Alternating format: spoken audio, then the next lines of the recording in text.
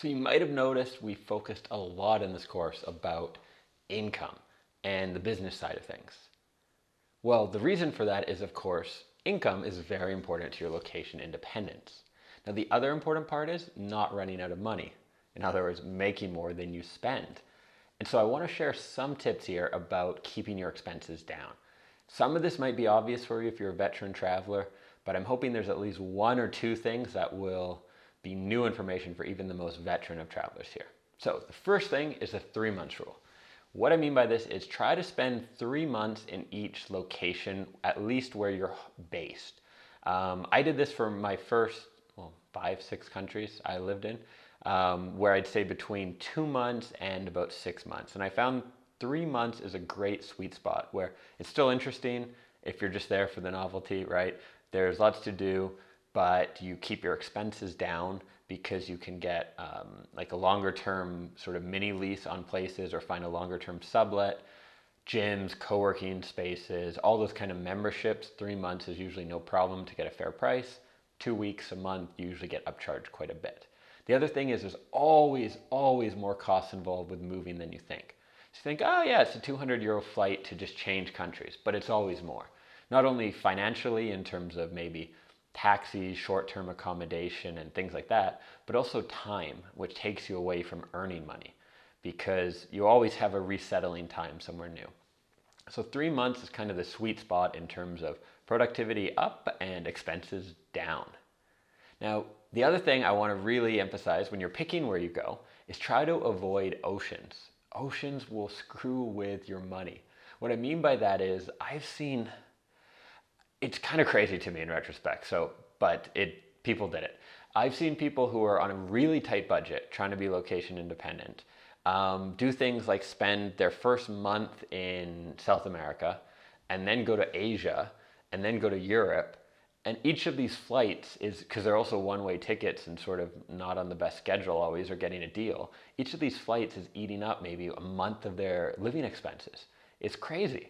So don't do that uh, try to think long term in, in terms of maybe a year. Now, that's not to say you can't change, of course, right? Um, this whole this lifestyle is about freedom.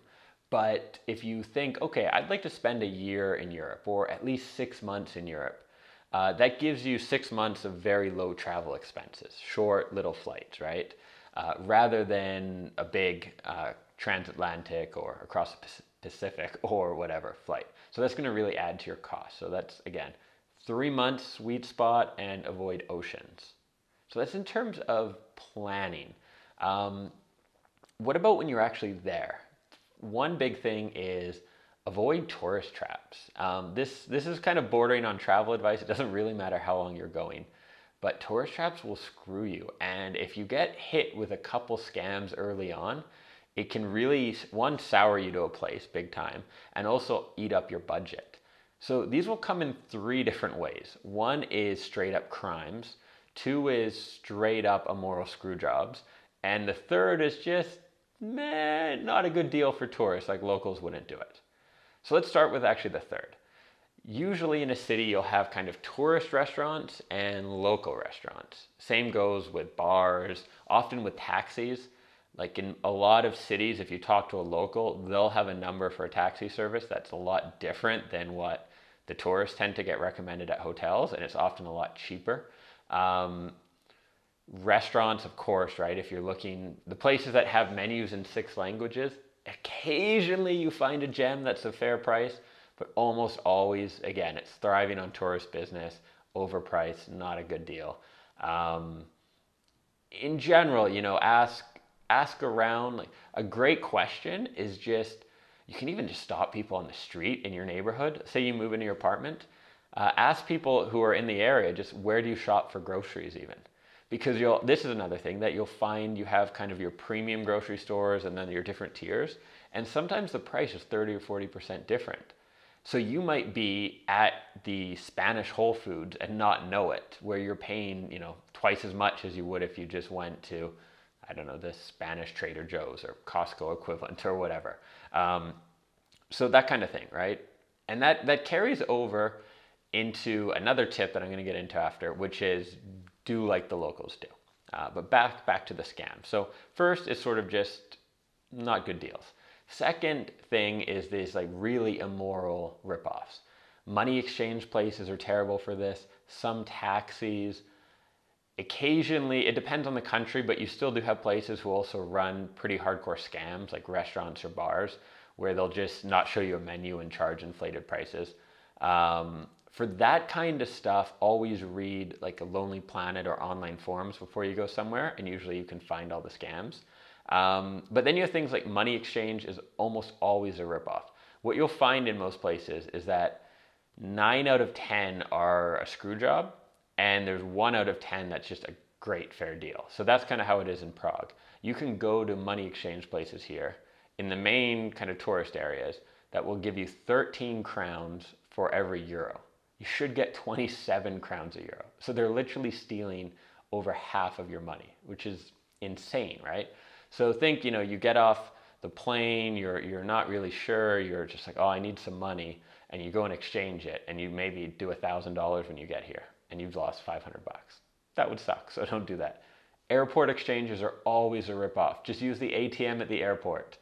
It's so much better. Or get some currency before something, but just don't use the money exchange places at airports ever. Please don't. I hate them so much. And the last is the the straight up crimes. Um, so these are things like um, pickpocketing, petty theft.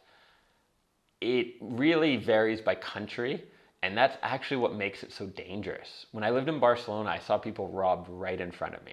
Not not the you know knife, give me your money, rob, but the I saw a guy come up to. There was two guys in their fifties, pretty big guys, and two women, their wives, and they were walking down the street, and this guy, about my age, dressed in like a dress shirt and jeans, walked up, just grabbed the woman's neck, ripped off her necklace, and ran.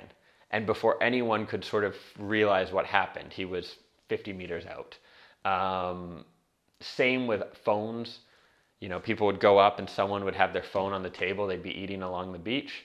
People go up, they do a kind of distraction they put down their, uh, they have a survey form. Anyone with a survey form in Europe is trying to rip you off or cheat you on something. Um, so they'd put the survey form over the phone and then they'd kind of nudge it off together and then they'd run off. And by time people were like, wait, where'd my phone go? They were, I actually kind of, the angle is that saw the whole thing. They had ran around the corner, passed it to another guy, and then they split up. So even if they found the woman, she'd be like, I didn't do it. Um, so this happens a lot, you notice, to like German tourists because Germans, like in Germany, you could leave your iBook on a table and go to the bathroom, and in most German cities, it would be fine because they're just it is. Uh, so that's something that can actually make it more dangerous. Is you get to a new country and you're used to your last one, so you don't really know the safety, and you might have patterns of leaving your stuff around or whatever. Um, so really, just be careful with your stuff. Generally, again, look online before you go to a place in terms of that safety. Um, yeah, be weary, especially when you're first going somewhere, like you're moving somewhere and you have all your stuff. That's when you want to be most careful in terms of, you know, if you do get robbed or you do lose something, it's everything, right? Passports, laptop, all your stuff. And if you're on a tight budget, I mean, if I had been robbed when I got to Costa Rica, I would have been done. Like, I did not have reserve funds for replacing my computer and everything. Um, so you know, something just to be aware of. Personally, if I'm just getting to a new city, I will splurge a little and do the taxi hotel for the first night, especially if I get in kind of later. Um, just because I get my stuff safe, I can, you know, I don't have to worry about, you know, taking a bus from the train station late at night with all my stuff or whatever it is. It's just, to me, not worth the risk because if you lose your stuff, it really sucks. So I mentioned before doing like the locals do, and this will save you money in all kinds of areas. Mainly food and drink is big. So if you, basically it's as simple as it sounds, right? Think of how the locals would um, eat. So if you go to Italy, what do Italian people eat? You know, you don't need a guidebook. Pasta, olives, meat, pizza, um, cheeses, wine. So if you have that stuff in wine, or in wine. You know, you can see what I remember from when I lived in Italy, right? Uh, wine literally would be a dollar a liter at the grocery store, and they'd have these big like local wineries, and you just fill up your own jars. It was insane. Um, so you know, if you're in Italy, I would recommend eating that way. When I was there, it was so cheap, like amazing balsamic vinegar, great olive oil, cheeses, meats for a third probably of what I would have paid in Canada. Uh, now, if I wanted to get Mexican food while I was there, I probably would have paid an extreme amount, right? Um, and so by sticking to the local stuff, you'll always get a much better deal. And I also think it's it's a lot better in terms of your experience there, right? It's I mean, not to be one of these travelers like I'm all authentic, I'm like a local, but if you're in Italy, you know, have the wine, have the food, it makes sense, right? Um, yeah, that just makes sense to me. So it'll give you a better experience and it will save you some money, and just generally, I think is a good way to figure it out quickly in terms of what's going to be fair prices and everything like that. You could apply the same logic to housing as well in terms of neighborhoods, right? So I tend to like the centers of city.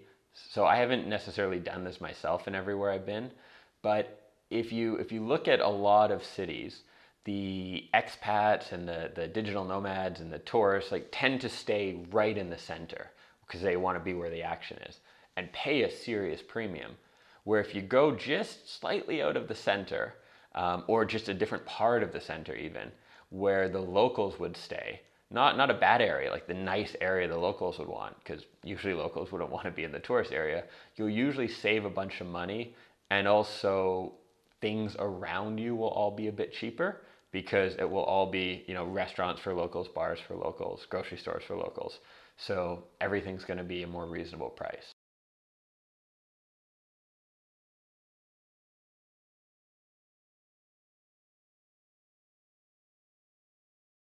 So the last tip here is just to negotiate. For some of us, obvious, for others, not so much. You'd be surprised actually how much you can get. Just asking for something tends to get you something. For example, if you're looking at housing, often people will have a posted price for a month. But if you're saying three, why not ask for a 15% discount? Or just say, hey, could you give me a discount? And almost always people will give you something you might get a response. I've got this a lot where they say, I don't do discounts, but you know what? You can have 10%, which is 10%. That's huge, right? It's not huge, but it's worth it. Um, lots of things, you know, gyms, co working spaces, short term things you need to join. Uh, look, you know, find the owner, talk to the owner, offer cash, say, hey, I'm just here for a month, six weeks, three months. Uh, can I just pay upfront cash and we can do a deal? Like, I don't want to sign a contract, whatever usually you can get a better deal. Um, so ask. You, you have nothing to lose, and almost always it will work out at least a little bit in your favor.